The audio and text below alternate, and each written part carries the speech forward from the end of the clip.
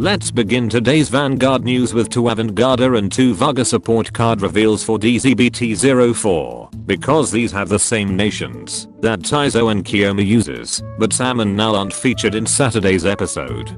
Blue Death's health and while on rear guard, gets a continuous ability when it boosts a Blue Deathster unit that makes your opponent call 2 or more cards in hand to the Guardian Circle if they wish to guard for that battle but it gets retired at the end of the battle you used this ability. The only way this card can become an actual threat is by combining it with Bomber Strategy Dusting, also known as the least used strategy card, until the Scarier came out. Blue Deathster Zabine Melt Mill when discarded by your Vanguard's ability, or placed on rear guard lets you pay 3 energy if you have a Blue Deathster Vanguard, to add a strategy card from your drop zone and while on rear guard, she gets 5k power when you're grade 3 or higher avant-garde or vanguard attacks. This is just Alla D'Argentei 2.0 for two oh big reasons. One being she uses energy, a resource which the deck doesn't really use outside of teching Panspermia. And 2, despite being only able to get strategy cards from the drop zone,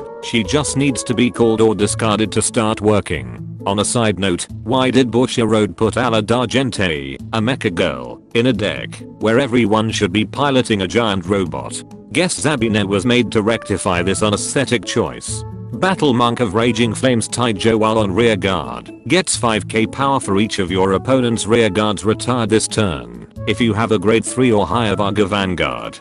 Did Varga really need a potential 18k booster? Most players playing against the Varga matchup would just use abilities that remove their front row rear guards to avoid cards like this of ever powering up.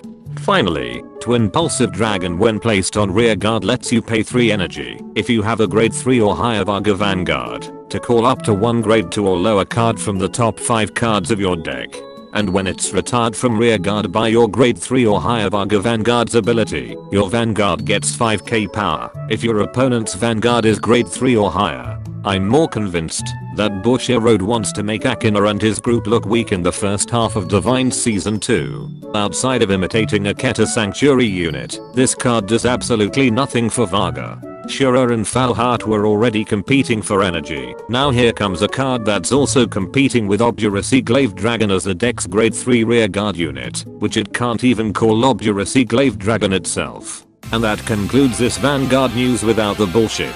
Special thanks to my Patreon members for continuing to support my content creation. Be sure to subscribe and let me know in the comments if Varga was better off not getting any support in this set.